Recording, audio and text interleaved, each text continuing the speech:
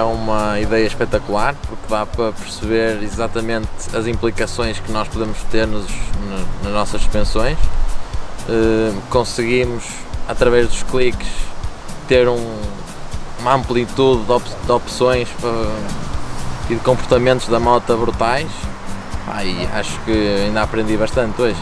Saem daqui, não é? Digamos assim, a a saber bastante mais que ao que entraram e a, e a poder experimentar, que isso é que é importante, não é? Agora, saber na teoria que desapertar faz isto e apertar faz isto, toda a gente diz aí fica mole, fica duro, não sei o quê, mas no, no terreno as coisas são completamente diferentes e as sensações que, que a moto nos dá é completamente, completamente diferente. Foi espetacular, acho que foi super vantajoso para a minha aprendizagem e até para perder um bocado aquele medo de, de dar uns cliques, para perceber melhor o que é que a moto faz, o que é que não faz e até para eu perceber melhor o que é que, o que, é que consigo melhorar para andar mais rápido nas corridas. Acho que isso é, é super interessante e é o fundamental perceber exatamente o que é que, o que, é que preciso e o que é que não preciso, não é? Para as, consoante as variações de terreno. Acho que é, é o fundamental.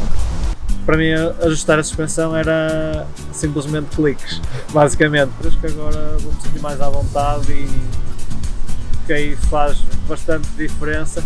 E o também o saber que não, o facto de não a não respeitar os cliques de fábrica me deixa confortável que sei que não estou a estragar nada. Isso aí também é muito bom. A partilha de pessoas a andar de moto com experiências diferentes e com motivação para o tema e o facto de estamos a discutir conceitos que depois vamos sentir na prática de imediato, super interessante, porque Nisto aqui, o que as pessoas procuram não é o conhecimento teórico que se pode ler em qualquer lado, é o sentir e aplicar a percepção e o entendimento de como é que as coisas funcionam.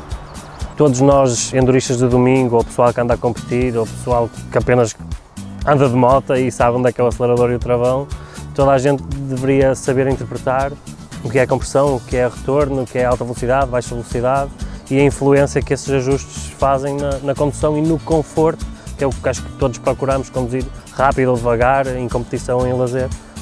Tu explicares bem o que é que cada reação faz, o que é que cada afinação do amortecedor ou das suspensões fazem e o que é que isso transmite, ou na sensação que tu tens, ou na sensação da moto, ou naquilo que te permite fazer ou não, as reações, uh, acho que faz muita.